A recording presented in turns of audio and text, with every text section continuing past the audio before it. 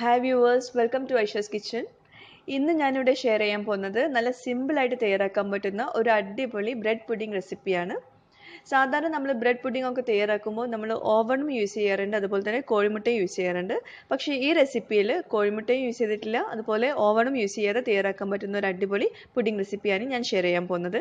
തീർച്ചയായിട്ടും ഇതെല്ലാവർക്കും ഇഷ്ടപ്പെടുന്ന റെസിപ്പിയാവും എല്ലാവരും ട്രൈ ചെയ്ത് നോക്കുക. അപ്പോൾ നമ്മൾക്ക് ഈ ബ്രെഡ് പുഡിംഗ് എങ്ങനെ തയ്യാറാക്കുന്നത് നോക്കാം. അപ്പോൾ ഈ ബ്രെഡ് പുഡിങ്ങിലേക്ക് വേണ്ടിയിട്ട് നമ്മൾക്ക് എട്ട് ബ്രെഡ് സ്ലൈസസ് വേണം. അതുപോലെ ഞാൻ ഇത് കട്ട് ചെയ്തെടുക്കാൻ വേണ്ടിയിട്ട് ഒരു ഹാർഡ് ഷേപ്പിലുള്ള കുക്കി കട്ടർ യൂസ് ചെയ്തിട്ടുണ്ട്. അത് ഓപ്ഷണലാണ് നിങ്ങൾക്ക് വേണമെങ്കിൽ സാധാ നോർമലായിട്ടും കട്ട് ചെയ്തെടുക്കാം. പിന്നെ ഇതിലേക്ക് ഒരു അര കപ്പോളം ബ്രെഡ് ക്രംസ് വേണം. പിന്നെ വേണ്ടത് ഒരു മൂന്ന് കപ്പ് പാൽ എടുത്തിട്ടുണ്ട്. ഞാൻ എഴുന്നൂറ്റൻപത് എം എൽ പാൽ എടുത്തിട്ടുണ്ട്. പിന്നെ ഇതിലേക്ക് വേണ്ടത് ചൈന ഗ്രാസ് ആണ്. പത്ത് ഗ്രാമോളം ചൈന ഗ്രാസ് എടുത്തിട്ടുണ്ട്. ഇനി ഇതിലേക്ക് നട്ട്സ് വേണം. അത് ഞാൻ ചോപ്പ് ചെയ്ത് വെച്ചിട്ടുണ്ട്. അതായത് ബദാം കാഷ്യൂസ് ഉണ്ട് പിസ്താച്ചോസ് ഉണ്ട്. നിങ്ങൾക്ക് ഇഷ്ടമുള്ള നട്ട്സ് യൂസ് ചെയ്യാം. അതില്ലെങ്കിലും കുഴപ്പമില്ല. പിന്നെ വേണ്ടത് കണ്ടൻസ്ഡ് മിൽക്കാണ് ആൻഡ് കണ്ടൻസ്ഡ് മിൽക്ക് ഒരു അര കപ്പോളം എടുത്തിട്ടുണ്ട്. വേണമെങ്കിൽ കൂടുതൽ യൂസ് ചെയ്യാം. പിന്നെ പഞ്ചസാര ഒരു കാൽ കപ്പോളം എടുത്തിട്ടുണ്ട്. പിന്നെ ഇതിലേക്ക് ഞാൻ കുറച്ച് കളർ ആഡ് ചെയ്ത് കൊടുത്തിട്ടുണ്ട്. അത് ഞാൻ പിസ്ത എസെൻസ് ആണ് ആഡ് ചെയ്ത് കൊടുത്തിട്ടുള്ളത്. രണ്ട് ഡ്രോപ്പോളം ആഡ് ചെയ്ത് കൊടുത്തിട്ടുണ്ട്. അത് ഓപ്ഷണൽ ആണ്. നിങ്ങൾക്ക് ആവശ്യമുണ്ടെങ്കിൽ മാത്രം യൂസ് ചെയ്താൽ മതി. അപ്പോൾ ഇനി നമുക്ക് ബ്രെഡ് പുഡിംഗ് തയ്യാറാക്കാം. അപ്പോൾ ഞാൻ ആദ്യം ഈ ബ്രെഡ് ഒന്ന് കട്ട് ചെയ്തെടുക്കുന്നുണ്ട്. ഒരു ഹാർട്ട് ഷേപ്പിലാണ് ഞാൻ കട്ട് ചെയ്തെടുക്കുന്നത്. അത് നിങ്ങൾക്ക് ഇഷ്ടമുള്ള രീതിയിൽ കട്ട് ചെയ്തെടുക്കാം. ഞാനിപ്പോൾ ഹാർട്ട് ഷേപ്പിലാണ് കട്ട് ചെയ്യുന്നത്. അതില്ലെങ്കിലും കുഴപ്പമില്ല. സാധാ സ്ക്വയർ ആയിട്ട് കട്ട് ചെയ്ത് കൊടുത്താലും മതി. അപ്പോൾ ഇതുപോലെ നമ്മൾ ഹാർട്ട് ഷേപ്പിൽ കട്ട് ചെയ്ത് കൊടുക്കുമ്പോൾ നല്ല ഭംഗി ഉണ്ടാവും കാണാൻ അത്രയേ ഉള്ളൂ. ഇതില്ലെങ്കിൽ നമ്മൾ സൈഡ്സ് ഒക്കെ റിമൂവ് ചെയ്തിട്ട് അത് സ്ക്വയർ ആയിട്ട് കട്ട് ചെയ്തെടുക്കാം നമ്മൾക്കിപ്പോൾ ഈ റെസിപ്പിയിലേക്ക് ഈ ഹാർട്ട് ഷേപ്പ് മാത്രമാണല്ലോ വേണ്ടത്. അപ്പോൾ ബാക്കിയുള്ള ബ്രെഡിന്റെ സൈഡ്സും ബാക്കിയുള്ള ബ്രെഡിന്റെ ലെഫ്റ്റ് ഓവേഴ്സും ഒക്കെ എടുത്തിട്ട് നമുക്ക് വേണമെങ്കിൽ ഇതിലേക്ക് ആഡ് ചെയ്യാനുള്ള ബ്രെഡ് ക്രംസ് തയ്യാറാക്കാം അതൊന്ന് പൊടിച്ചെടുത്താൽ മതി. ഞാനിപ്പോൾ ഇതിൽ നിങ്ങൾക്ക് കാണിക്കാൻ വേണ്ടിയിട്ടാണ് ഞാനിപ്പോൾ ബ്രെഡ് ക്രംസ് സെപ്പറേറ്റ് പൊടിച്ചെടുത്തത്. അപ്പോൾ ഇതുപോലെ ഹാർട്ട് ഷേപ്സ് ആക്കി റെഡിയാക്കി വെക്കാം നമുക്ക്. പിന്നെ ഇനി വേറെ ഏത് ഷേപ്പിൽ എടുക്കുവാണെങ്കിലും ബ്രെഡിന്റെ സൈഡ്സ് റിമൂവ് ചെയ്യാൻ പ്രത്യേകം ശ്രദ്ധിക്കുക.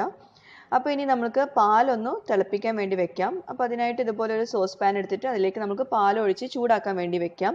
അപ്പോൾ ചൂടാവുന്ന നേരം കൊണ്ട് നമുക്ക് ഈ ബ്രെഡിന്റെ ഈ ഹാർഡ് ഷേപ്പുള്ള ബ്രെഡൊക്കെ നമുക്കൊന്ന് ഫ്രൈ ചെയ്തെടുക്കണം. അപ്പോൾ പാൽ നമ്മൾക്ക് അവിടെ തിളയ്ക്കാൻ വേണ്ടി വെക്കാം. ആ നേരം കൊണ്ട് നമ്മൾക്ക് ഈ ഹാർട്ട് ഷേപ്പുള്ള ബ്രെഡൊക്കെ ഒന്ന് ഫ്രൈ ചെയ്തെടുക്കണം. അപ്പോൾ അതിനായിട്ട് ഒരു പാൻ ചൂടാക്കിയിട്ട് അതിലേക്ക് ഡീപ് ഫ്രൈ ചെയ്യാൻ വേണ്ടിയിട്ടുള്ള എണ്ണ ഒഴിച്ചു കൊടുത്ത ശേഷം അത് നന്നായി ചൂടായിട്ട് അതൊരു മീഡിയം ഫ്ലെയിമിൽ വെക്കണം. എന്നിട്ട് നമുക്കിത് ഓരോന്നോരോന്നായിട്ട് ആഡ് ചെയ്തിട്ട് നമുക്കിത് ഡീപ് ഫ്രൈ ചെയ്തെടുക്കാം.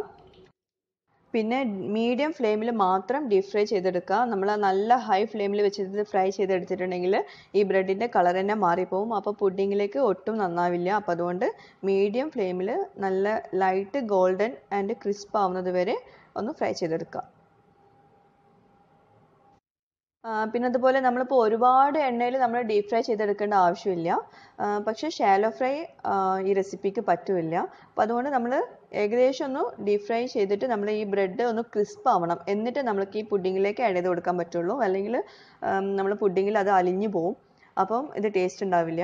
അപ്പോൾ അതുകൊണ്ട് ഇതുപോലെ തന്നെ ചെയ്ത് കൊടുക്കാൻ പ്രത്യേകം ശ്രദ്ധിക്കുക. പിന്നെ അതുപോലെ പാൽ നമ്മൾ ചെറിയ ഫ്ലെയിമിൽ വെച്ച് കൊടുത്താൽ മതി.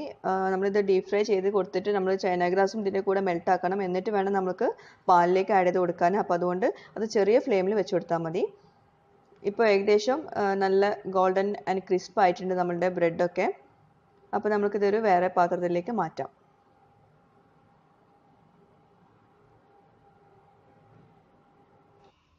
പിന്നെ അതുപോലെ നമ്മൾ ബ്രെഡ് ഫ്രൈ ചെയ്തെടുക്കുമ്പോൾ എന്തായാലും നന്നായിട്ട് എണ്ണ ഉണ്ടാവും. അപ്പോൾ അതുകൊണ്ട് ഒരു ടിഷ്യൂ യൂസ് ചെയ്തിട്ട് നന്നായിട്ട് ഡ്രെയിൻ ചെയ്ത് കൊടുക്കുക എണ്ണയൊക്കെ. എന്നിട്ട് നമ്മൾ പുഡിങ്ങിലേക്ക് ആഡ് ചെയ്ത് കൊടുത്താൽ മതി. അപ്പോൾ നല്ല ഗോൾഡൻ ആൻഡ് ക്രിസ്പ് ആയിട്ട് നമ്മളുടെ ബ്രെഡ് ഫ്രൈ ചെയ്തെടുത്തിട്ടുണ്ട്. ഇതുപോലെ ബാക്കിയുള്ള ബ്രെഡൊക്കെ ഇതുപോലെ ഫ്രൈ ചെയ്തെടുക്കാം നമുക്ക്. പിന്നെ അതുപോലെ കുറേശ്ശെ കുറേശ്ശെയായിട്ട് ഫ്രൈ ചെയ്തെടുക്കുന്നതാണ് നല്ലത് ഈ ബ്രെഡൊക്കെ നമ്മൾ ഓവറായിട്ട് ഇത് ക്രൗഡഡ് ആയിട്ട് ഫ്രൈ ചെയ്തെടുക്കുമ്പം ചില സൈഡ്സ് ഒന്നും അത് നന്നായിട്ട് പെർഫെക്റ്റ് ആയിട്ട് ക്രിസ്പ് ആവില്ല. അപ്പോൾ അതുകൊണ്ട് കുറേശ്ശെ കുറേശ്ശെയായിട്ട് ഫ്രൈ ചെയ്തെടുക്കുക.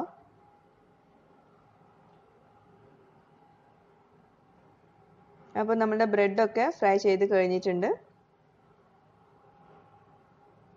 നമ്മൾക്കിതുപോലെ ടിഷ്യൂയിലേക്ക് ഇത് മാറ്റാം. എന്നിട്ട് ഓയിൽ നന്നായിട്ട് ഡ്രെയിൻ ചെയ്ത് കൊടുക്കാം. അപ്പോൾ നമ്മളുടെ ബ്രെഡ് പുഡിംഗ് തയ്യാറാക്കാൻ വേണ്ടിയിട്ടുള്ള ബ്രെഡൊക്കെ നന്നായിട്ട് ഫ്രൈ ചെയ്തെടുത്തിട്ടുണ്ട്. നല്ല ക്രിസ്പി ആയിട്ടുണ്ട്.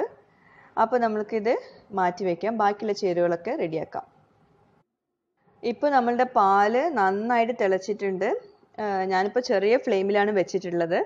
അപ്പം നമ്മൾക്ക് ഇനിയിപ്പോൾ ചൈന ഗ്രാസും കൂടി മെൽറ്റ് ആക്കാനുണ്ട്. അപ്പോൾ അതുകൊണ്ട് ഞാനത് ചെറിയ ഫ്ലെയിമിൽ ഞാൻ പാൽ തിളയ്ക്കാൻ വേണ്ടി വെച്ചിട്ടുണ്ട്. അപ്പോൾ അത് അവിടെ ഇരിക്കട്ടെ. അപ്പോൾ നമുക്ക് ഈ നേരം കൊണ്ട് നമുക്ക് ചൈന ഗ്രാസും കൂടി മെൽറ്റ് ആക്കാൻ വെക്കാം. അപ്പോൾ ഇനി നമ്മൾക്ക് വേറൊരു പാനിലേക്ക് ചൈന ഗ്രാസും അര കപ്പ് വെള്ളവും ഒഴിച്ചു കൊടുത്തിട്ട് അതൊന്ന് മെൽറ്റ് ചെയ്യാൻ വേണ്ടിയിട്ട് നമുക്ക് ചൂടാക്കിയെടുക്കാം. അതും ചെറിയ ഫ്ലെയിമിൽ നമ്മൾ മെൽറ്റ് ചെയ്യാൻ വേണ്ടി വെക്കണം.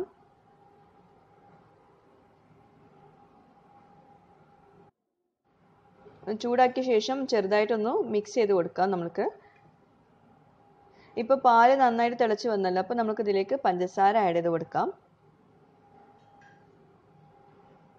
ഇനി നമുക്ക് ഇതിലേക്ക് കണ്ടൻസ്ഡ് മിൽക്ക് ആഡ് ചെയ്ത് കൊടുക്കാം. അപ്പോൾ പാലിന്റെ മിക്സ്ചർ റെഡി ആയിട്ടുണ്ട്. കണ്ടൻസ്ഡ് മിൽക്കും പഞ്ചസാരയും ആഡ് ചെയ്ത് കൊടുത്തിട്ടുണ്ട്. ഇനി നമുക്ക് ഇതിലേക്ക് ആഡ് ചെയ്ത് കൊടുക്കാനുള്ളത് ചൈന ഗ്ലാസ് മെൽറ്റ് ആയതാണ്.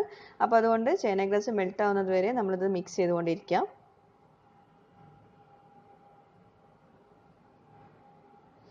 പാൽ ചെറിയ ഫ്ലെയിമിൽ വെക്കണം കേട്ടോ. നല്ല ഹൈ ഫ്ലെയിമിൽ വെച്ചാൽ നമ്മളത് ശ്രദ്ധിക്കാതെ പോവും. അപ്പോൾ അത് തിളച്ച് പോവും. ഇപ്പോൾ ചൈന ഗ്രാസ് നന്നായിട്ട് മെൽറ്റ് ആയിട്ടുണ്ട്. അപ്പോൾ നമ്മൾക്കൊരു അരിപ്പയിലൂടെ ഈ ചൈന ഗ്രാസ് ഈ പാലിന്റെ മിക്സ്ചറിലേക്ക് ആഡ് ചെയ്ത് കൊടുക്കാം. ഞാൻ സാധാരണ പറയുന്നത് പോലെ തന്നെ ചൈന ഗ്രാസ് ആഡ് ചെയ്ത് കൊടുക്കുമ്പോൾ ആഡ് ചെയ്ത് കൊടുത്ത പാടത്തിന് നമ്മളത് മിക്സ് ചെയ്ത് കൊടുക്കണം. അല്ലെങ്കിൽ കട്ടിയായി പോവും പെട്ടെന്ന്. പിന്നെ ചൈന ഗ്രാസ് ആഡ് ചെയ്ത് കൊടുക്കുമ്പോൾ നമ്മൾ അരിപ്പയിലൂടെ വേണം ആഡ് ചെയ്ത് കൊടുക്കാൻ. അല്ലെങ്കിൽ അത് നമ്മൾ സെറ്റ് ആകുമ്പോൾ പുഡിങ്ങിന്റെ മുകളിൽ ചൈന ഗ്രാസ് കട്ടയായി കിടക്കും. ഇനി നമുക്ക് ഇതിലേക്ക് പിസ്ത എസൻസ് ആഡ് ചെയ്ത് കൊടുക്കാം. അത് ഓപ്ഷണലാണ് ജസ്റ്റ് ഒരു കളറിന് വേണ്ടിയിട്ടാണ് ഞാൻ ആഡ് ചെയ്ത് കൊടുത്തിട്ടുള്ളത്. നല്ല വൈറ്റ് കളറുള്ള പുഡിങ് വേണ്ടാന്ന് വിചാരിച്ചിട്ട് മാത്രമാണ്. അത് വേണമെങ്കിൽ മാത്രം ആഡ് ചെയ്ത് കൊടുക്കാം. എന്നിട്ട് നന്നായിട്ടൊന്ന് മിക്സ് ചെയ്ത് കൊടുക്കുക നമുക്ക് ഇനി ഇതിലേക്ക് നമുക്ക് ആഡ് ചെയ്ത് കൊടുക്കാനുള്ളത് ബ്രെഡ് ക്രംസ് ആണ്. അത് ബ്രെഡിന്റെ ഒരു ഫ്ലേവർ കിട്ടാൻ വേണ്ടിയിട്ടാണ്. അപ്പോൾ അതുകൊണ്ട് കുറച്ച് മാത്രം ആഡ് ചെയ്ത് കൊടുക്കുക. അധികം ആഡ് ചെയ്ത് കൊടുക്കണ്ട. ബാക്കി നമുക്ക് ബ്രെഡ് നമ്മൾ സെറ്റ് ചെയ്യാൻ വെക്കുമ്പോൾ പുഡിങ് സെറ്റ് ചെയ്യാൻ വെക്കുമ്പോൾ നമുക്ക് ആഡ് ചെയ്ത് കൊടുക്കേണ്ടതാണ് കുറച്ചുകൂടെ ബ്രെഡ് ക്രംസ് ആഡ് ചെയ്ത് കൊടുക്കുക നമുക്ക് ഒന്ന് തിക്ക് ആയിട്ടില്ല. അപ്പോൾ അതുകൊണ്ട് കുറച്ചുകൂടെ ആഡ് ചെയ്ത് കൊടുക്കാം. അപ്പോൾ നമ്മളുടെ മിൽക്ക് മിക്സ്ചർ റെഡി ആയിട്ടുണ്ട്. നമ്മൾ പുഡിങ്ങിലേക്കുള്ള മിൽക്ക് മിക്സ്ചർ റെഡി ആയിട്ടുണ്ട്. നമുക്ക് ഇനി ഇത് അസംബിൾ ചെയ്യാം. ഇനി ഇതുപോലെ ഒരു പുഡിങ്ങിന്റെ ട്രേ എടുത്തിട്ട് അതിന്റെ ബേസ് ആയിട്ട് നമ്മൾക്ക് ഈ ഫ്രൈ ചെയ്തിട്ടുള്ള ബ്രെഡിന്റെ ഹാർട്ട്സ് ഇതുപോലെ ലെയർ ചെയ്ത് വെക്കാം. ഇതിന്റെ പകുതി മാത്രം നമ്മളിപ്പോൾ ലെയർ ചെയ്യാൻ യൂസ് ചെയ്താൽ മതി. അതിന്റെ ബാക്കി പകുതി നമുക്ക് ഇതിന്റെ ടോപ്പ് ചെയ്യാനുള്ളതാണ് ഈ പുഡിങ് അപ്പോൾ അതുകൊണ്ട് പകുതി മാത്രം യൂസ് ചെയ്യാം.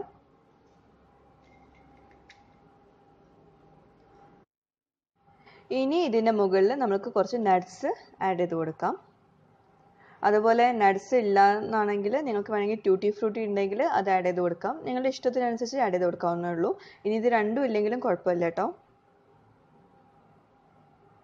ഇനി കുറച്ച് ബ്രെഡ് ക്രംസ് സ്പ്രിങ്കിൾ ചെയ്ത് കൊടുക്കാം.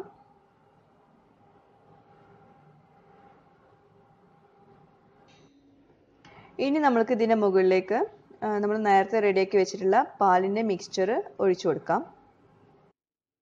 പിന്നെ അതുപോലെ ഈ പാലിന്റെ മിക്സ്ചർ ഒഴിച്ചു കൊടുക്കുമ്പം കുറേശ്ശെ കുറേശ്ശെയായിട്ട് ഒഴിച്ചു കൊടുക്കാൻ പ്രത്യേകം ശ്രദ്ധിക്കുക. ഒരുമിച്ച് ഒഴിച്ചു കൊടുക്കാതിരിക്കുക.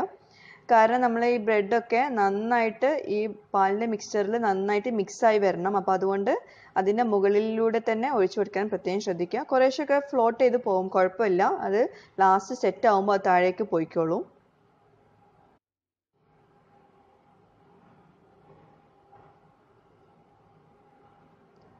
അപ്പോൾ നമ്മളുടെ പാലിന്റെ മിക്സ്ചർ നമ്മൾ മൊത്തത്തിൽ നമ്മൾ പുഡിംഗ് ട്രേയിലേക്ക് ഒഴിച്ചു കഴിഞ്ഞു. ഇനി ഒരു സ്പൂൺ കൊണ്ട് നമ്മൾക്ക് ഈ ബ്രെഡ് ഫ്രൈ ചെയ്ത ബ്രെഡൊക്കെ ഒന്ന് നന്നായിട്ടൊന്ന് അതിൽ സിങ്ക് ചെയ്ത് കൊടുക്കാം. ഇനി നമ്മൾക്ക് ഈ പുഡിങ്ങിന്റെ ഒരു ടോപ്പ് ലെയർ ആയിട്ട് നമ്മൾക്ക് നേരത്തെ ബാക്കി വെച്ചിട്ടുള്ള ഫ്രൈ ചെയ്ത ബ്രെഡ് ഹാർട്സ് മൊത്തത്തിലൊന്ന് ലെയർ ചെയ്ത് കൊടുക്കാം.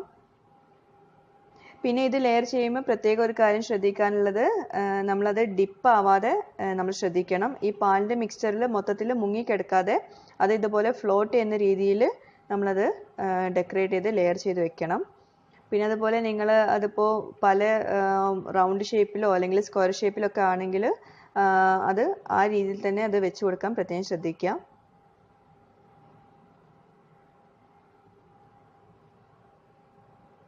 അപ്പോൾ ഫ്രൈ ചെയ്ത ബ്രെഡ് നമ്മൾ ലെയർ ചെയ്ത് കഴിഞ്ഞു. ഇനി ഇതിന്റെ മുകളിലേക്ക് നമുക്ക് ബാക്കിയുള്ള നട്ട്സും അതുപോലെ ബ്രെഡ് ക്രംസും മൊത്തത്തിലൊന്ന് സ്പ്രിങ്കിൾ ചെയ്ത് കൊടുക്കാം. ഒരു ഡെക്കറേഷന് വേണ്ടിയിട്ട്. അതൊക്കെ നിങ്ങളുടെ ഇഷ്ടത്തിനനുസരിച്ച് ഡെക്കറേറ്റ് ചെയ്തെടുക്കാം കേട്ടോ. ഞാനിപ്പോൾ ഇവിടെ ഫൈനൽ ഡെക്കറേഷന് വേണ്ടി ഞാൻ ഇതുപോലെ ബ്രെഡ് ക്രംസും നട്ട്സും തന്നെയാണ് യൂസ് ചെയ്തിട്ടുള്ളത്. പക്ഷെ നിങ്ങൾക്ക് വേണമെങ്കിൽ ഫൈനൽ ഡെക്കറേഷന് വേണ്ടിയിട്ട് നിങ്ങൾക്ക് വേണമെങ്കിൽ ചോക്ലേറ്റ് ഗ്രേറ്റ് ചെയ്തിട്ട് വേണമെങ്കിൽ സ്പ്രിങ്കിൾ ചെയ്ത് കൊടുക്കാം. അങ്ങനെ ചെയ്യുവാണെങ്കിൽ അത് ഈ പുഡിങ് സെറ്റായ ശേഷം ചെയ്ത് കൊടുക്കുന്നതാണ് ഏറ്റവും നല്ലത്. അപ്പോൾ നമ്മളുടെ ബ്രെഡ് പുഡിംഗ് റെഡി ആയിട്ടുണ്ട്. നമുക്കിതൊന്ന് സെറ്റ് ആവാൻ വേണ്ടി വെക്കണം. മിനിമം ഒരു ആറ് മണിക്കൂർ അല്ലെങ്കിൽ എട്ട് മണിക്കൂറെങ്കിലും വെക്കണം സെറ്റ് ആവാൻ വേണ്ടിയിട്ട്. ഇതുപോലെ സെല്ലുലർ ഫോയിൽ കൊണ്ട് കവർ ചെയ്തിട്ട് നമുക്കിത് ഫ്രിഡ്ജിൽ സെറ്റ് ആവാൻ വേണ്ടി വെക്കാം. അപ്പോൾ നമ്മളുടെ ബ്രെഡ് പുഡിംഗ് റെഡി ആയിട്ടുണ്ട്. നല്ല എളുപ്പത്തിൽ തയ്യാറാക്കാൻ പറ്റുന്ന അടിപൊളി ബ്രെഡ് പുഡിംഗ് ആണിത്. തീർച്ചയായിട്ടും എല്ലാവരും ട്രൈ ചെയ്ത് നോക്കണം. നല്ല ടേസ്റ്റി ആയിട്ടുള്ള ഒരു ബ്രെഡ് പുഡിംഗ് ആണിത്. ഞാൻ കുറച്ച് ഫൈനലായി ഡെക്കറേറ്റ് ചെയ്യാൻ വേണ്ടിയിട്ട് ഒരു പേൾ ഡ്രോപ്സ് കൊണ്ട് ഒന്ന് ഡെക്കറേറ്റ് ചെയ്ത് വെക്കുന്നുണ്ട്. അത് നിങ്ങൾക്ക് വേണമെങ്കിൽ ചെയ്ത് കൊടുത്താൽ മതി.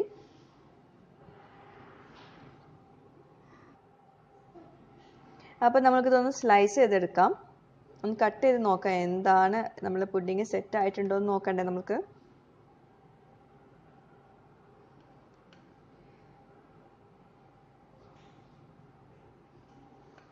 നന്നായിട്ട് സെറ്റ് ആയിട്ടുണ്ട് പുഡിങ്. അപ്പം പലരും പറഞ്ഞിട്ടുണ്ടായിരുന്നു പുഡിങ് തയ്യാറാക്കുമ്പോൾ അത് കട്ട് ചെയ്യുന്നതും കൂടി കാണിക്കാൻ വേണ്ടിയിട്ട്. അപ്പോൾ അതുകൊണ്ടാണ് ഞാനിപ്പോൾ കാണിക്കുന്നത്. നല്ല എളുപ്പത്തിൽ തയ്യാറാക്കാൻ പറ്റുന്ന അടിപൊളി പുഡിങ്ങാണ്. തീർച്ചയായിട്ടും എല്ലാവരും ട്രൈ ചെയ്ത് നോക്കണം. അധികം ഇൻഗ്രീഡിയൻസ് ഒന്നും ഇല്ലാത്ത പുഡിങ്ങാണ്. അപ്പോൾ എല്ലാവരും ട്രൈ ചെയ്ത് നോക്കിയിട്ട് നിങ്ങളുടെ ഫീഡ്ബാക്ക്സ് സജഷൻസ് ഒക്കെ നിങ്ങൾ കമന്റ് ബോക്സിൽ എഴുതാനും മറക്കരുത്. അതുപോലെ ഈ വീഡിയോ കണ്ടിട്ട് നിങ്ങൾക്ക് ഇഷ്ടമാവുന്നുണ്ടെങ്കിൽ നിങ്ങൾ സബ്സ്ക്രൈബ് ചെയ്യാനും മറക്കരുത്. താങ്ക്